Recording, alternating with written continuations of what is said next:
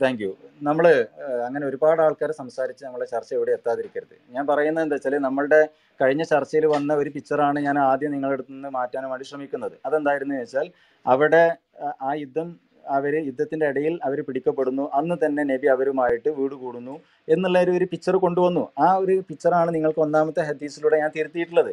അത് നിങ്ങൾ ഇവിടെ വീണ്ടും തെളിവ് എവിടെയെന്ന് ചോദിക്കുമ്പോൾ അതിലെന്താണ് ഇപ്പം നമ്മൾ പറയാം? അതിൽ കൃത്യമായിട്ട് പറഞ്ഞു അവർ മടങ്ങുന്ന വഴിക്ക് സ്വദ് സ്വത്ത് സുബഹ എന്നുള്ള സ്ഥലത്ത് വെച്ചിട്ടാണ് ഇപ്പം ജിബർ വായിച്ചല്ലോ.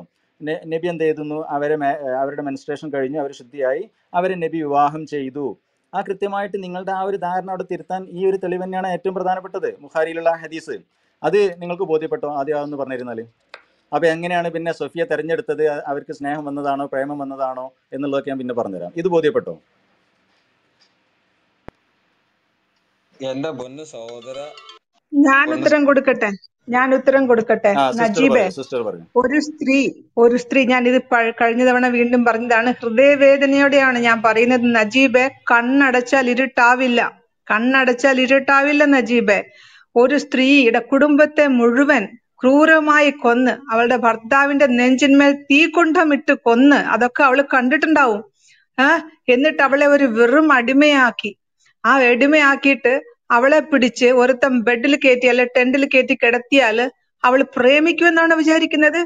ഇത് എന്ത് തരം പ്രേമമാണ് ഇതിനാണോ പ്രേമം എന്ന പേര് നജീബ്? ഇതാണ് ഇസ്ലാമിക പ്രേമം? ഇതിന്റെ പേര് ഞാൻ പറയാ. ഇതിന്റെ പേരാണ് റേപ്പ്. ഇതിന്റെ പേരാണ് ഇംഗ്ലീഷിൽ റേപ്പ്. ലൈംഗിക അതിക്രമം. ലൈംഗിക അതിക്രമം എന്നാണ് ഇതിന്റെ പേര്. എന്ത് തെളിവ്? ഈ വായിച്ചതൊക്കെ തെളിവല്ലേ? ഇത് ഇതിലധികം തെളിവ് എന്താണ് നജീബ് വേണ്ടത്? നജീബ് ഞാൻ റെസ്പെക്ടോടെയാണ് സംസാരിക്കുന്നത്. പക്ഷെ താങ്കൾ ഇത്രയ്ക്ക് കണ്ണടച്ചിരുട്ടാക്കുകയാണ്. ഓക്കെ? തെറ്റുകൾ ആര് ചെയ്താലും തെറ്റ് തന്നെ. പക്ഷെ ഒരു ദൈവത്തിന്റെ പ്രവാചകൻ ചെയ്യുമ്പം അത് മാതൃകയാണെന്ന് പറയുന്നതാണ് പ്രശ്നം. അതിനെ വെളുപ്പിക്കാൻ വരുന്നതാണ് പ്രശ്നം.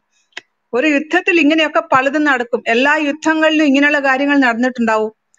അത് വേറെ. അത് സാധാരണ മനുഷ്യർ ചെയ്യുന്ന അതിക്രമങ്ങളും ക്രൂരതകളുമായി നമുക്ക് കണക്കാക്കാം. പക്ഷെ നിങ്ങൾ പറയുന്ന മാനവരിൽ മഹോന്നത മഹോന്നതൻ ഒരു സ്ത്രീയുടെ കുടുംബത്തെ മുഴുവൻ ഞാൻ ശരി ശരി ഞാനൊന്ന് തെളിവ് പറയട്ടെ? ഹലോ ഞാനൊന്ന് തെളിവ് പറയട്ടെ? ആ പറയൂ. ഞാനൊന്ന് അത് വായിക്കാം. ആ, മുഹമ്മദും സംഘവും ഒരു സെക്കൻഡ് ഏതാണ്? ഏതാണ് റെഫറൻസ് പറയും. ഞാനൊന്ന് എടുക്കട്ടെ. ഏതാണ്? എവിടെയാണ്? എവിടുന്നാണ്?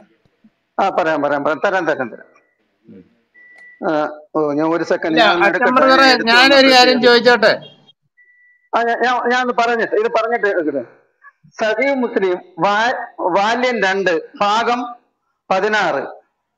ഹദീസ് നമ്പർ എൺപത്തിനാല് ബ്രാക്കറ്റിൽ ആയിരത്തി മുന്നൂറ്റി അറുപത്തി അഞ്ച് വായിക്കട്ടെ? ആ വായിക്കൂ പറയൂ.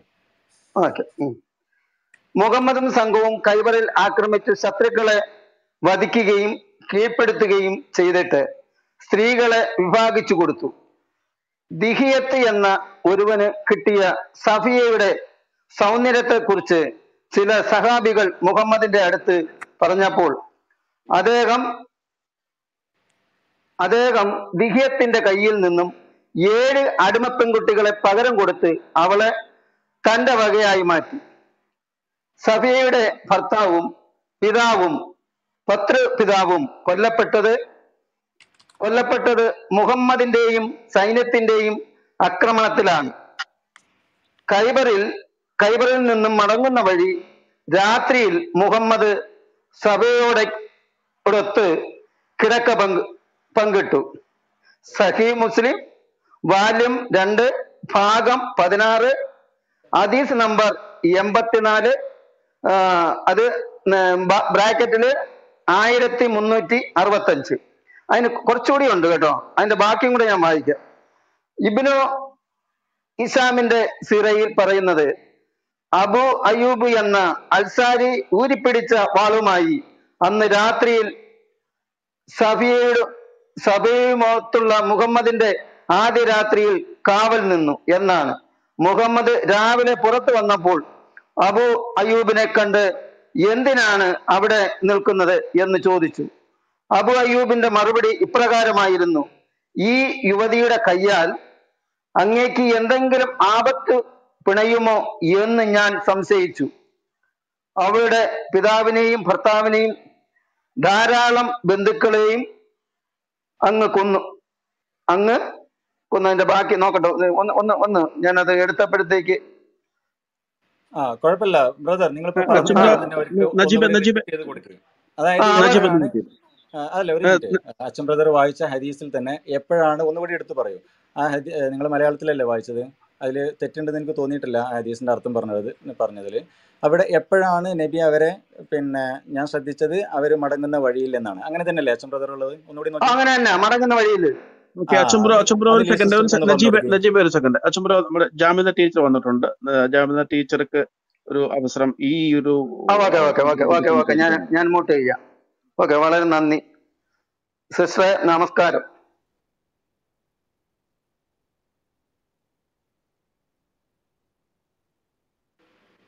ടീച്ചർ പറയൂ കേൾക്കുന്നില്ല. ടീച്ചറെ കേൾക്കുന്നില്ല. നമസ്കാരം ടീച്ചറെ കേൾക്കുന്നില്ല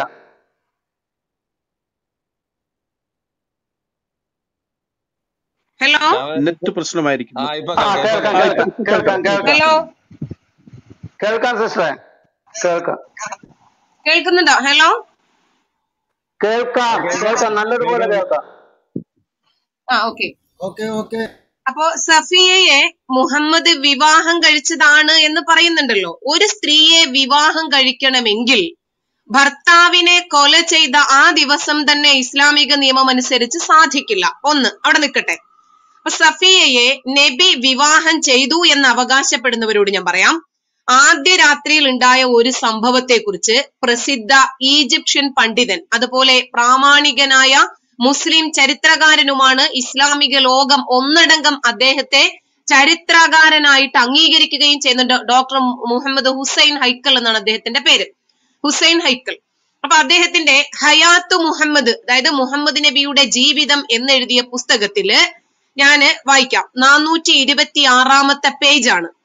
തന്റെ പിതാവിനെയും ഭർത്താവിനെയും ജനങ്ങളെയും വധിച്ച പ്രവാചകന്റെ നേരെ സഫിയയുടെ ഉള്ളിൽ പകയുണ്ടായേക്കുമോ എന്ന് പ്രവാചകന്റെ അനുചരന്മാരിൽ ഒരാളായ അബു അയ്യൂബിൽ അൻസ്വാരി ആശങ്കിച്ചു.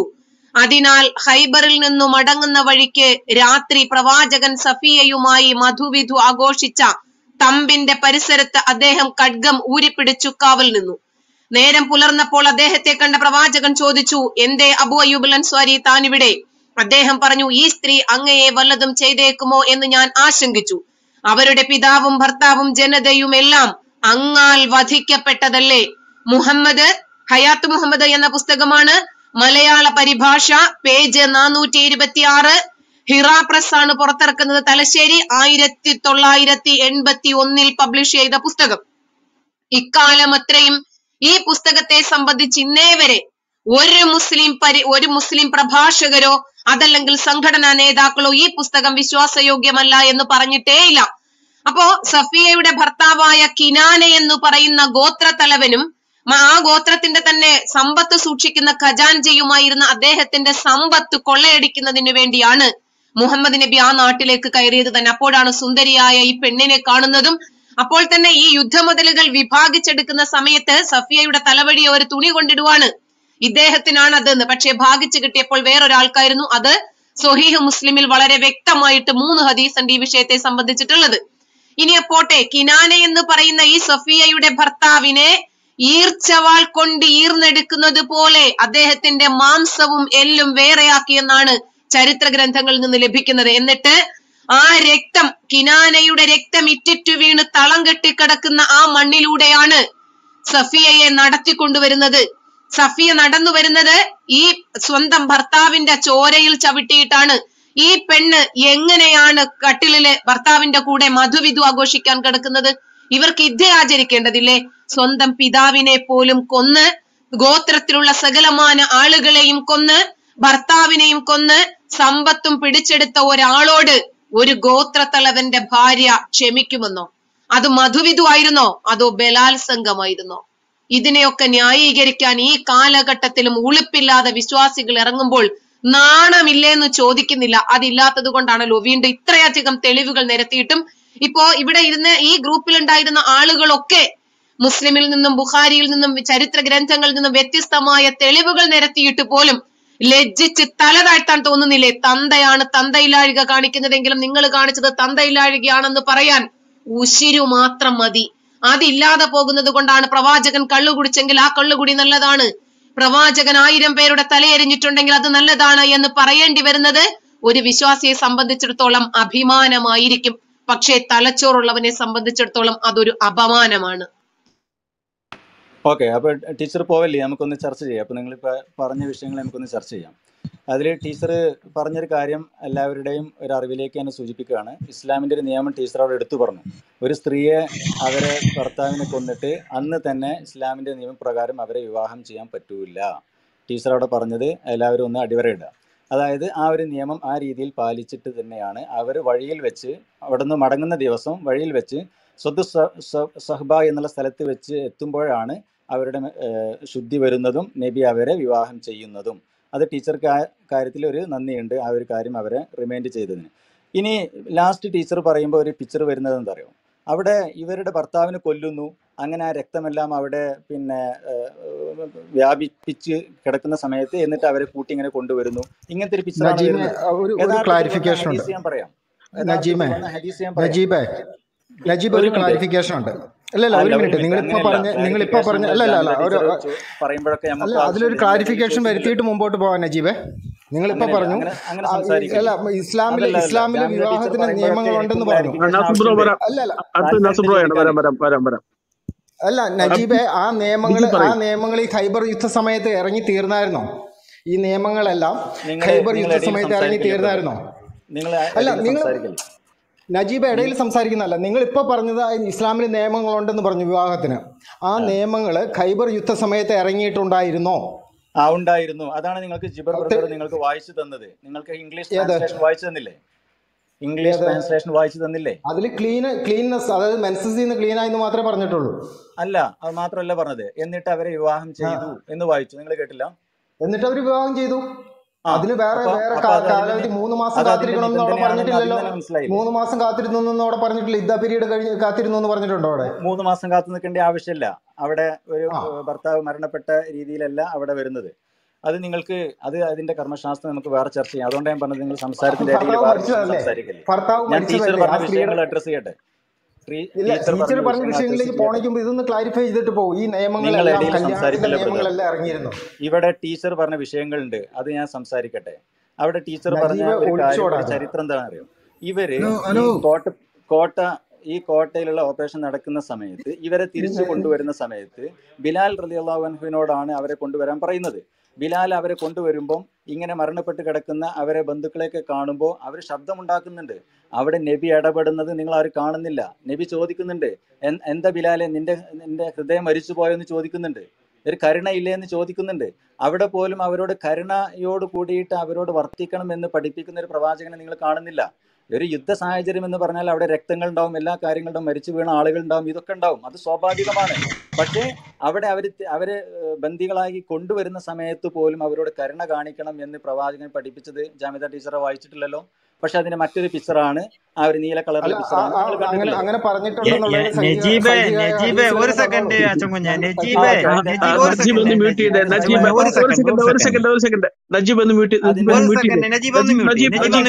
ഒരു കാര്യം അടുത്ത നജീബിന് സമയം തരാം നജീബിന് സമയം തരാം. നജീബ് നജീബ് അവിടെ കരുണ കാണിക്കുന്ന ഒരു വലിയ പ്രവാചകനെയാണ് നജീബ് ഇപ്പോഴത്തെ കാണിക്കുന്നത് ആ, ഒന്ന് ഒരു മറുപടി ഒന്ന് മറുപടി പറഞ്ഞോളൂ. ആ ഓക്കെ ഓക്കെ. നജീബ് ഒന്ന് മ്യൂട്ട് ചെയ്യാം നജീബ്. നജീബ് നജീബ് എന്താ നജീബ്? നജീബിന്റെ ഒക്കെ തലയിലിരിക്കുന്ന തലയിലിരിക്കുന്ന പിണ്ണാക്കാണോ കളിമണ്ണാണോ തലച്ചോറാണോ? നിങ്ങൾക്കൊന്ന് എന്താണ്? നിങ്ങളൊക്കെ എന്ത് മനുഷ്യരാണ് നിങ്ങളൊന്ന് മ്യൂട്ട് ഞാൻ പറയാം. ഞാൻ അങ്ങോട്ട് വരിക. നജീബ് ഒന്ന് മ്യൂട്ട് ഒന്ന് മ്യൂട്ട് ഒന്ന് മ്യൂട്ട് ഒന്ന് മ്യൂട്ട് ചെയ്യും നജീബ് ഈ സുഡാപ്പിയുടെ അസഹിഷ്ണുത കാണിക്കാതെ ഒന്ന് മ്യൂട്ട് ചെയ്യും. ഞാൻ പറഞ്ഞു തീർക്കട്ടെ. നജീബ് ഒന്ന് മ്യൂട്ട് ചെയ്യും. ഒന്ന് മ്യൂട്ട് ചെയ്യാൻ ഒന്ന് മ്യൂട്ട് ചെയ്യാൻ ഒരു ഒരു സെക്കൻഡ് ഒരു സെക്കൻഡ് ഒരു സെക്കൻഡ്. പ്ലീസ് നാസർ കൂട്ടുകാരാ പ്രതിപക്ഷ ഭാഗത്തോടു കൂടി സംസാരിക്കൂ. പ്ലീസ്.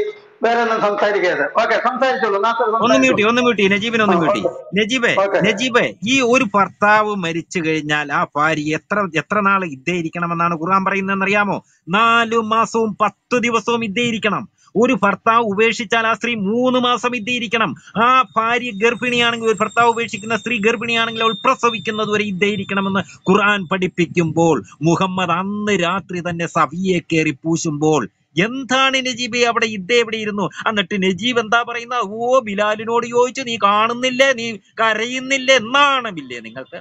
ലജ്ജയില്ലേ നിങ്ങൾക്ക്? ജാമിത ടീച്ചർ ചോദിക്കുന്ന പോലെ നീ ചോദിക്കുന്നു. നിങ്ങൾക്ക് നാണമില്ലേ? ലജ്ജയില്ലേ? നിങ്ങൾ ഇനി ഒരു രക്തത്തിൽ ആ പെണ്ണിന്റെ ഭർത്താവിന്റെയും പിതാവിന്റെയും രക്തത്തിലൂടെ ആ പെണ്ണിനെ വലിച്ചിഴച്ചു കൊണ്ടുവന്ന് ആ പെണ്ണിനെ ലൈംഗികമായിട്ട് ഭോഗിച്ചിട്ട് അത് കല്യാണമായിരുന്നു എന്ന് പറയാൻ നിങ്ങൾക്ക് നാണമില്ലേ? നാണം? അത് കല്യാണമായിരുന്നല്ലേ? മധുവിധുവായിരുന്നല്ലേ ഒരു രാത്രിയിൽ ആ പെണ്ണിന്റെ ഭർത്താവിനെയും ഭാര്യ പിതാവിനെയും മാതാവിനെയും സഹോദരങ്ങളെയും ഒന്നടങ്കം വെട്ടി അരിഞ്ഞ് വീഴിച്ചിട്ട് ആ പെണ്ണിന്റെ കൂറക്ക് കൂടെ കേറിക്കടന്ന് ആ പെണ്ണിനെ പോകിച്ചപ്പോൾ അത് മധുവിധു കല്യാണം എന്ന് പറയാൻ സാധിക്കുമോ? എന്റെ നാസറ കൂട്ടുകാരെ കുടുംബം കൂടി എന്ന് പറയും. ഒരു മിതമായി സംസാരിക്കൂ. ഇവിടെ ഓ സഹോദരന്മാരൊക്കെ ഉള്ളതാണ്. ഓക്കെ. എന്താണ് ഇത് ഇങ്ങനെ ഇങ്ങനെ ഇവർ നിങ്ങളൊക്കെ നിങ്ങൾ നിങ്ങൾ നിങ്ങളൊന്നും ഇത്ര ചിന്തിക്കുന്നില്ലേ? നിങ്ങൾ നിങ്ങൾ ആ മതത്തിൽ കടിച്ചു ഒതുങ്ങി കിടന്നു? എനിക്ക് ഒരു കുഴപ്പമില്ല. നിങ്ങൾ ആ മതത്തിൽ തന്നെ കിടന്നു? ആ മതത്തിൽ തന്നെ നിങ്ങൾ മരിച്ചോ? കുഴപ്പമില്ല.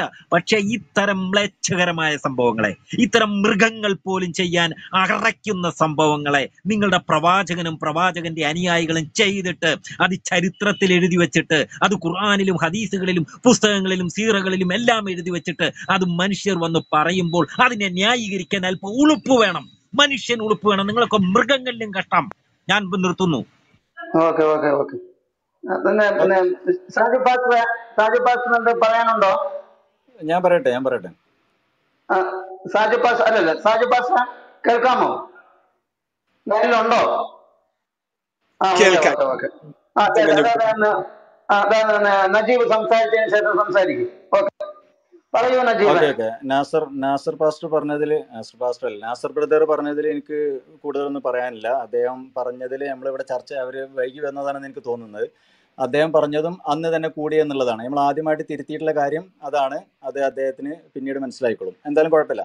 പിന്നീട് അതിന്റെ ഒരു കർമ്മശാസ്ത്രം യുദ്ധത്തിൽ പിടിക്കപ്പെടുന്ന അടിമകൾ എന്നെ മനസ്സിലാക്കണ്ട. നിങ്ങൾ മനസ്സിലാക്കിയാൽ മതി. എന്നെ ഒന്നും മനസ്സിലാക്കണ്ട. നിങ്ങൾ നേരം വൈകി വന്നുകൊണ്ടാണ് സംസാരിക്കുന്നത് ചർച്ച കഴിഞ്ഞു. കേട്ടോ. ഇല്ല ഇല്ല ആ ചർച്ച നിങ്ങൾ ഏത് ഭാഗം എപ്പോൾ എപ്പോഴാണ് ആ ചർച്ച കഴി ആ ചർച്ച കഴിഞ്ഞെന്ന് പറഞ്ഞത് എപ്പോഴാണ് ഏത് സമയത്താണ് അതൊന്നും പറഞ്ഞിട്ടില്ല. അത് ചിലപ്പം ഈ കുടുംബം കൂടിയതിനു ശേഷമായിരിക്കും ആ കർമ്മം ചെയ്തെങ്കിലോ? കുടുംബം കൂടിയതിനു ശേഷം നിങ്ങൾ എപ്പോഴാണെന്ന് പറഞ്ഞോ? അല്ല പുള്ളി അഞ്ച് കോട്ടകൾ അഞ്ച് കോട്ട ഡീറ്റെയിൽ വരട്ടെ. ആ നിങ്ങൾ പറയാൻ സമ്മതിക്കുന്നില്ലല്ലോ. ഞാൻ നിങ്ങൾക്ക് അടുത്ത പറയൂ റെഫറൻസ് പറയൂ പറയൂ പറയൂ. വായിക്കുമല്ലേ പറയൂ പറയൂ. ഓക്കെ. നിങ്ങൾ ഇതാ റെഫറൻസ് നിങ്ങൾ എടുത്തോളൂ. ചരിത്രം പറയുന്ന തൊബക്കാത്തുൽ കുബ്ര എട്ടാമത്തെ വോളിയം നൂറ്റി ഇരുപത്തി മൂന്നാമത്തെ പേജിൽ പറയുന്നുണ്ട്. അവിടെ സൊഫിയ റലി അള്ളാഹുൻഹയും നബിയും തമ്മിലുള്ള സംസാരങ്ങൾ വിശദീകരിക്കുന്നുണ്ട്. അവിടെ നബി അവരോട് സംസാരിക്കുന്നുണ്ട് നിന്റെ പിതാവ് എന്നോട് ഏറ്റവും വലിയ ശത്രുതയുള്ള ഒരു യഹൂദിയായിരുന്നു ഏതുവരെ ഹത്ത ഖത്തലഹുല്ല അള്ളാഹു അവ- അവനെ വധിക്കുന്നത് വരെ. ഫഖാലത്ത് അപ്പം ഇവർ പറയാണ് സഫിയ പറയാണ് യാ റസൂലുള്ള ഇന്നല്ലാഹ യഖൂലു ഫീ കിതാബിഹി വലാ തസിറു വാസിറത്തുൻ വിസ്റ അല്ല ഈ റഫറൻസ് ഒന്നുകൂടെ പറഞ്ഞു റഫറൻസ് ഒന്നുകൂടെ പറഞ്ഞു. മറ്റൊരാളിനെ റെഫറൻസ് ഒന്നുകൂടെ പറയൂ. ഇല്ല. സൂറത്ത് അന്നാമ് നൂറ്റി അറുപത്തിനാല് നിങ്ങളിപ്പോ ആദ്യം പറഞ്ഞ റഫറൻസ് ഒന്നുകൂടെ പറയൂ. കുബ്ര എട്ടാമത്തെ വോളിയം നൂറ്റി ഇരുപത്തി മൂന്ന് അപ്പൊ നബി അവരോട് പറയുന്നുണ്ട് ഇഖ്താരി ഫൈൻ ഇഖ്തർത്തിൽ ഇസ്ലാമ അംസ അംസക്തു കലി നഫ്സി. നീ ഇസ്ലാം സ്വീകരിക്കുകയാണെങ്കിൽ നിനക്ക് എന്റെ കൂടെ നിൽക്കാം. വൈൻ ഇഖ്തർത്തൽ യഹൂദിയത നീ യഹൂദ മതമാണ് തിരഞ്ഞെടുക്കുന്നതെങ്കിൽ ഞാൻ നിന്നെ മോചിപ്പിക്കാം നിന്റെ സമൂഹത്തോട് നിനക്ക് ചേർന്ന് പോവാം. അപ്പോൾ അവർ പച്ചക്കള്ളം പച്ചക്കള്ളം പച്ചക്കള്ളം ഞാൻ നിങ്ങൾ എന്നെ വിളിക്കുന്നതിന് മുൻപ് തന്നെ എനിക്ക് ഇസ്ലാം എനിക്ക് ഇഷ്ടപ്പെട്ടിട്ടുണ്ട്. ഏതുപോലെ? ഹലോ ഇത് മുജാഹിദ് ബാലശ്ശേരിയുടെ വ്യാഖ്യാനമാണോ പുള്ളി പറയുന്നത്. ഇത് പച്ചക്കള്ളമാണ്. ചരിത്രവുമായി യാതൊരു ബന്ധവും ഇങ്ങനെ ഇല്ലാത്താണ് നജീബ് ചരിത്രത്തിൽ കണ്ടു കിട്ടുന്നില്ല കേട്ടോ. നജീബ് നജീബ് ഒന്ന് മ്യൂട്ട് ചെയ്ത. നജീബ് ഒന്ന് മ്യൂട്ട് ചെയ്ത. ഒരു സെക്കൻഡ് നജീബ് ഒന്ന് മ്യൂട്ട് ചെയ്തേ. ബിജു ബിജു ഒന്ന് പറയും ബിജു പറയും. ഇങ്ങനെ ഒരു റെഫറൻസ് ഞാൻ നോക്കിയിട്ട് എനിക്ക് അതിൽ കിട്ടില്ല കിട്ടുന്നില്ല. ഇല്ല ഇല്ല മാഷ ഇല്ല. ഇയാൾ ചുമ്മാ ചാനൽ ബാക്ക് ചാനൽ അയച്ചോളി ഞാൻ ഇപ്പൊ ലിങ്ക് അയച്ചുതരാം ലിങ്ക് അയച്ചുതരാം ഞാൻ ഈ പച്ചക്കള്ളമാണ് ഈ മൗലുവായ അയച്ചു കുറെ ഹദീസുകളുണ്ട്. മൗലുവായ സീറുകൾ. പച്ചക്കള്ളം എഴുതി വെച്ചിരിക്കുന്ന സീറുകളുണ്ട്. സുഡാപ്പി സൈറ്റുകളിൽ ഒരുപാടുണ്ട്. അതാണ് ഈ നജീബ് പറയുന്നത് കേട്ടോ. സുഡാപ്പി സൈറ്റുകളിലെ പച്ചക്കള്ളമായ സീറുകൾ എടുത്തു പറയുന്ന. വെരി ഗുഡ് നജീബ് ഞങ്ങൾ ഇത് നോക്കാൻ വേണ്ടിയിട്ട് റെഡി ആയിട്ടിരിക്കണം അതുകൊണ്ടാണ് ആദ്യമേ ഈ റെഫറൻസുകൾ ഇങ്ങ് പറഞ്ഞോളൂ എന്ന് പറയുന്നത്. അപ്പം ഞങ്ങളത് എടുത്തു വെച്ചിട്ട് കറക്റ്റായിട്ട് വായിച്ചു തരും. നജീബിന് വേണ്ടിയിട്ട് നജീബിനെ ഹെൽപ്പ് ചെയ്യാൻ വേണ്ടിയിട്ട് ഞങ്ങൾ വായിച്ചു തരും. നജീബ് വായിച്ചു തരേണ്ട ആവശ്യമില്ല. ആ അത് അത് അത് ഞങ്ങൾ എടുക്കുന്നതിന് മുമ്പ് നിങ്ങൾ പറഞ്ഞിട്ട് അങ്ങ് പോവല്ലേ ചെയ്തത് ആദ്യമേ അതാണ് ലീ സിസ്റ്റർ ചോദിച്ചത്. നിങ്ങളുടെ റെഫറൻസുകളൊന്ന് പറഞ്ഞോളൂ. അപ്പം ഞങ്ങളത് എടുത്തു വെക്കാമെന്ന് പറഞ്ഞു. നിങ്ങൾ പറഞ്ഞില്ല. ഇനി നിങ്ങൾക്ക് വേണ്ടത് അവിടെ നബിയുടെ കരുണ നിങ്ങൾ റെഫറൻസ് ചോദിച്ചിരുന്നു അത് വേണോ വേണ്ടേ? ഇപ്പോൾ പറയൂ. ഇല്ല ഈ റെഫറൻസ് നജീബ് നജീബ് നജീബ് ഒരു മിനിറ്റ്. നജീബ് എന്ന് പറഞ്ഞാൽ അള്ളാഹു ആണ് ഇത് അള്ളാഹു വധിച്ചെന്ന്. അള്ളാഹു ആ വധിച്ചെന്ന് സഫിയാനെ. പുള്ളി പറഞ്ഞു കേട്ടില്ല അള്ളാഹു നിന്നെ വധിക്കുന്നത് വരെ എന്ന്. അതെ അതെ അതെ. മുഹമ്മദിന്റെ അനുയായികൾ വന്നിട്ട് അള്ളാഹു വധിക്കുന്നത് വരെ നമ്മുടെ നജീബ് പറഞ്ഞ നജീബ്? വെറും വെറും മദ്രസ മണ്ടനാകരുത് കേട്ടോ ഇവിടെ വന്ന്. ഹലോ ഈ റഫറൻസ് ഒക്കെ കൂടി തേങ്ങാക്കൊട്ടയിലാക്കിയിട്ട് വരി. എന്നിട്ട് നോക്കാം. അപ്പൊ അത് നിങ്ങൾക്ക് ഇപ്പൊ ക്ലിയർ ആയി അല്ലേ ആ ക്ലിയർ ആയി ക്ലിയർ ആയി. അള്ളാഹു ഒരിക്കുന്നത് വരെ അല്ലേ സത്യം നജീബ്? പറഞ്ഞ അള്ളാഹു ഒരിക്കുന്നത് വരെ അല്ലേ? അള്ളാഹു അല്ലേ അള്ളാഹു ആണ് നജീബ് അള്ളാഹു ആണോ. സഫിയെ വധിച്ചത് അതോ മുഹമ്മദ് അനുയായികളും കൂടെ കൂടിയാണോ? അള്ളാഹു ആകാശത്ത് ഏഴാകാശത്ത് വന്ന് ഇറങ്ങി വധിച്ചോ? അതോ മുഹമ്മദ് അനുയായികളും കൂടെ കൂടി സഫിയെ മുഹമ്മദിന് കൊടുക്കാൻ വേണ്ടി വധിച്ചോ? പറ. ഈ നാസർ ഈ നാസർ ഈ നാസർ ക്ലബ് ഹൗസിൽ വന്നതാണോ? പഠിച്ചോ അവിടെ കൊണ്ടുവന്നതാണോ? അല്ല ഞാൻ ഞാൻ ചോദിക്കട്ടെ അള്ളാഹു വധിച്ചതാണോ സഫിയനെ? ഞാൻ ഇങ്ങോട്ട് വന്നാ. എന്നെ പടച്ചോ കൊണ്ടൊന്നല്ല ഞാനാണ് ഞാനാ വന്നത്. അള്ളാഹു ആണോ വധിച്ചത്? മുഹമ്മദ് അനുയായികളുമാണോ സഫിയനെ മാതാപിതാക്കളെ വധിച്ചത്? സഫിയുടെ മാതാപിതാക്കളെയും സഹോദരന്മാരെയും വധിച്ചത് ആരാണ് നജീബ് ആരാണ് ആ പ- പിന്നെ പണ്ട് ആ കൂടാരത്തിൽ ആളുകൾ കാവൽ അച്ഛൻ നിന്നത് അബു അയ്യൂബ് അൻസാരി കൂടെ കാവൽ നിന്നും അബു അയ്യൂബ് അൻസാരി മാത്രമല്ല ജാമിദ ടീച്ചർക്ക് തെറ്റിപ്പോയി. അലിയാര് അലി അലി അലി റളിയല്ലാഹു നാലാം ഖലീഫ് വരെ ഉണ്ടായിരുന്നു. പിന്നെ സഫിയനെ സഫിയുമായിട്ട് മുഹമ്മദ് മദ്വീദ് കൂടുമ്പോൾ ആ ടെന്റിന് പുറത്തായിട്ട് അലി വരെ ഉണ്ടായിരുന്നു. വാളും ഊരി പിടിച്ച് അലി നിൽപ്പുണ്ടായിരുന്നു. അത് പിന്നെ നമ്മുടെ ജാമിദ ടീച്ചർ പറഞ്ഞില്ല. അലിയും ഉണ്ടായിരുന്നു. അലി അയ്യൂബിൻ അൻസാരി എന്ന ഖലീഫയും ഉണ്ടായിരുന്നു. പിന്നെ സഹാബിയും ഉണ്ടായിരുന്നു. കേട്ടോ? എന്നോട് വരണ്ട. ഈ ഈ കള്ളത്തരമൊക്കെ സുഡാപ്പി കുഞ്ഞുങ്ങളോട് പോയി പറഞ്ഞാൽ മതി. ഞാനുള്ളപ്പോ പറയരുത്. ഇത് നിഷേധിക്കുകയാണെങ്കിലല്ലേ അതിൽ പ്രശ്നമുള്ളൂ? ഇവിടെ ഇപ്പൊ എന്താ പ്രശ്നം? ഇവിടെ ഇതാരെങ്കിലും നിഷേധിച്ചോ? അല്ലല്ല സർവ സീരിയലുകളും സീരകളും വായിച്ച് ഇവിടെ ഇവിടെ എത്തിക്കുന്ന ആൾക്കാരാ ഇവിടെ ഇരിക്കുന്നവര്. അതുകൊണ്ട് ഇതിനകത്ത് പിന്നെ എന്നിട്ടാണോ നിങ്ങൾ ഇങ്ങനെ സംസാരിക്കുന്ന വളരെ എന്നിട്ടാണോ നിങ്ങൾ ഇതായിട്ട് ഇങ്ങനെ ഇല്ലാത്തത് പറയുന്നത്? എന്നുള്ളതേ വായിച്ച നിങ്ങൾ താഴെയുള്ള ആളുകൾക്ക് തെറ്റിദ്ധാരണ വരില്ലേ അതുകൊണ്ടാ നജീബെ നജീബ് കള്ളത്തരം പറയുമ്പോ അവർ എതിർക്കുന്നത്. നജീബ് ഈ കള്ളത്തരവുമായിട്ട് വരുമ്പോ അവർ എല്ലാം പഠിച്ചാ അവിടെ ഇരിക്കുന്നത് ഈ അച്ചൻകുഞ്ഞും ലീമാടും ഒക്കെ ശരിക്കും പഠിച്ചതാണ് നജീബ്. ഞാൻ മാത്രമല്ല ഇവരൊക്കെ ശരിക്കും പഠിച്ചതാണ്. ഇവരൊക്കെ ശരിക്കും പഠിച്ച നജീബ് ഈ സുഡാപ്പി സൈറ്റിൽ നിന്ന് എടുത്തോണ്ട് വരണ്ട ഇങ്ങോട്ട്. മുജാഹിദ് ബാലിശ്ശേരി എം എം അക്ബറും വിളമ്പുന്ന പാത്രവുമായിട്ട് ഇങ്ങോട്ട് വരണ്ട. അബ്ദുൽ നാസർ മദനിയും അബൂബക്കർ ബാഗ്ദാദിയും ഒക്കെ വിളമ്പുന്ന പാത്രവുമായിട്ട് ഇങ്ങോട്ട് വരണ്ട. സുഡാപ്പി കുഞ്ഞുങ്ങളുടെ അടുത്തേക്ക് പോ മദ്രസ പൊട്ടന്മാരുടെ അടുത്തേക്ക് ഇങ്ങോട്ട് വരണ്ട നജീബ്. ഇത് ഇത് ഇത് സ്ഥലം വേറെയാണ്.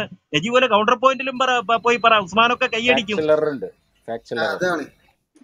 നമുക്ക് നമുക്ക് നമുക്കൊരു സെക്കൻഡ് നമുക്ക് സബ്ജക്ട് സബ്ജക്ട് ഏകദേശം പൂർത്തിയായി.